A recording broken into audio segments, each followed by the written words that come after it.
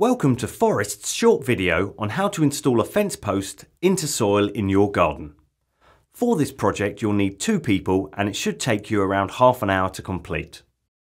You'll also need the following tools.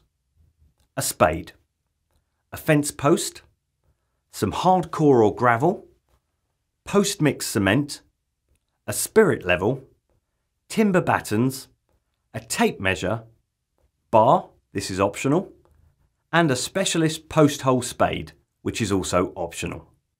Take a spade and dig a hole about 600mm deep and 300mm square. The actual depth will depend on the height of the post you are using. As a rule of thumb, you should have a quarter of the total post height in the ground. If the ground is really difficult to dig out, it might be worth investing in a bar and specialist post hole spade. You can buy these at most merchants. When the hole is finished, fill the bottom with about an inch of gravel or hardcore. This will help with drainage and reduce the risk of the post rotting in the future. Put the post into the hole.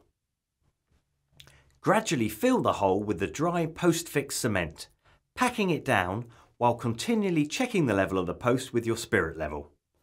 Fill the hole to about an inch from the top this is so that when the job is finished, you can cover the top of the cement with soil.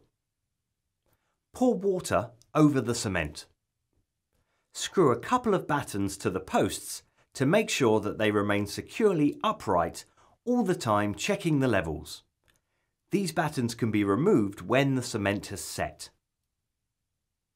For more how-to videos visit forestgarden.co.uk, the UK's favourite garden timber supplier.